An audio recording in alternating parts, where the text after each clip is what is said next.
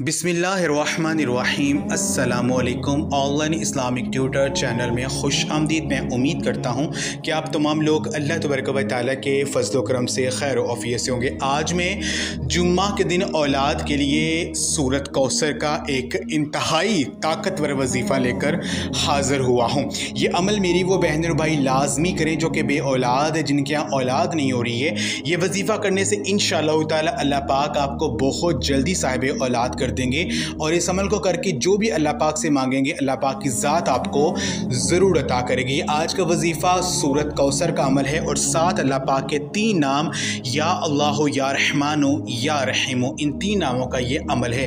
اس عمل کو اگر آپ میرے بتائے گئے طریقہ کار کے مطابق کر لیتے ہیں تو انشاءاللہ تعالی ایک ہی دن میں آپ کا جو مقصد ہے پورا ہوگا۔ اللہ تبارک و تعالی آپ کو اولاد کی خوشخبری عطا کر دیں گے۔ جو بھی آپ اللہ پاک سے مانگیں گے، اللہ پاک کی ذات آپ کو عطا کر دے گی۔ تو آج کا یہ وظیفہ اپنے محرم الحرام کے اس آخری جمعہ کے دن آپ کرنے کرنا ہے۔ آپ یہ وظیفہ جمعہ کے دن فجر کی نماز کے بعد اگر کرنا چاہیں تو آپ فجر کی نماز کے بعد کر سکتے ہیں یا آپ عصر کی نماز کے بعد کر لیں یا عشاء کی نماز کے بعد کر لیں۔ تو ان تینوں نمازوں کے بعد آپ کسی بھی ٹائم آپ یہ عمل کر سکتے ہیں۔ تو اس عمل کو آپ نے کرنا اس طرح سے ہے کہ جیسے آپ نماز فجر، نماز عصر یا نماز عشاء ادا کر لیں، آپ نے اسی جگہ پر بیٹھ جانا ہے۔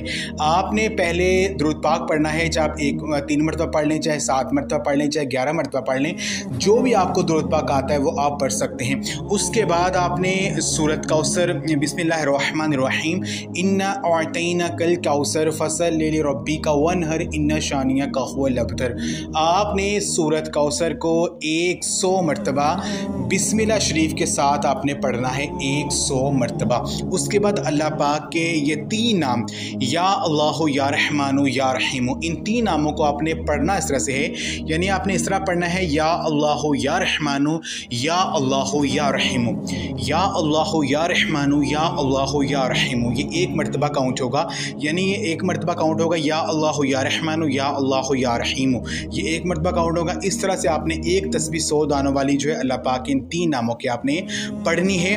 آخر میں پھر درود پاک پڑھ کے آپ نے اللہ پاک سے حضور نبی پاک وسلم کے صدقے سے امام حسن اور امام حسین علیہ السلام کے صدقے ان کے وسیلے سے آپ نے رو رو کر گر گرا کر آپ نے دعا کرنی ہے۔ انشاءاللہ تعالیٰ جو مانگیں گے اسی مہینے میں اللہ پاک آپ کو عطا کر دیں گے۔ آپ کی ہر بڑی سے بڑی حاجت پوری ہو جائے گی۔ تو یہ عمل آپ لازمی کریں اور اس ویڈیو کو لازمی شیئر بھی کریں۔